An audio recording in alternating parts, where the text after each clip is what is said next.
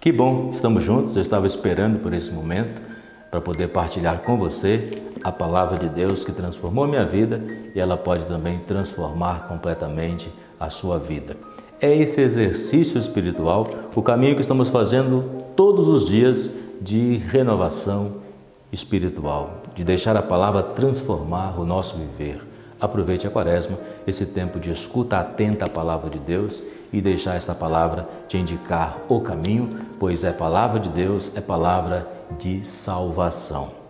O Evangelho de Mateus, capítulo 6, versículo 7, diz a oração do Pai Nosso.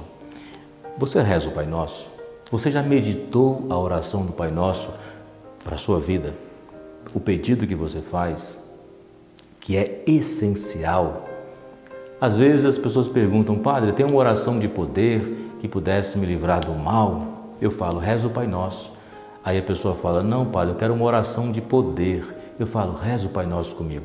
E a pessoa vai rezando quando chega naquela parte que diz, livrai-nos do mal. Eu falo, aí está a oração da libertação. Mas muitas vezes nós rezamos o Pai Nosso e não prestamos atenção e não meditamos as palavras que estão contidas nesta oração. E Jesus faz um convite para que você possa entrar no teu quarto, ou seja, entrar no teu coração e olhar para a sua vida e ver se você precisa perdoar alguém. Porque se você precisa perdoar alguém, faça esse caminho inteligente de sabedoria de perdoar e não ficar guardando mágoas ou rancores na sua vida, porque o perdão ele liberta.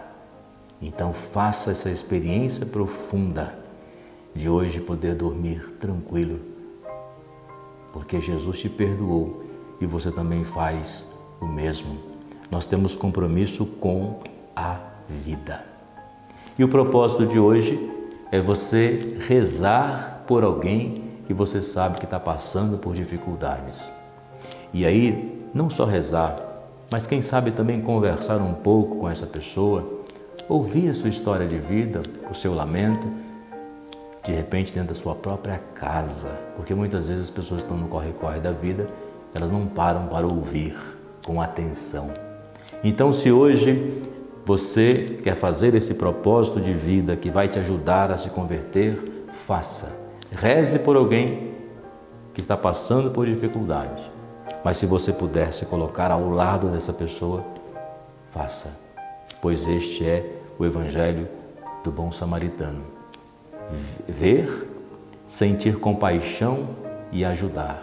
É a minha missão, é também a sua missão. Que Deus possa te abençoar e quando você rezar a oração do Pai Nosso, que você sinta todo esse amor de Jesus por você.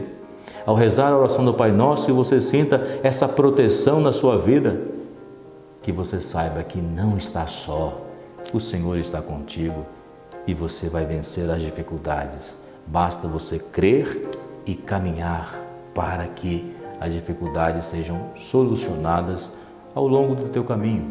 Portanto, tenha paciência. Deus abençoe você. Em nome do Pai, do Filho e do Espírito Santo. Amém.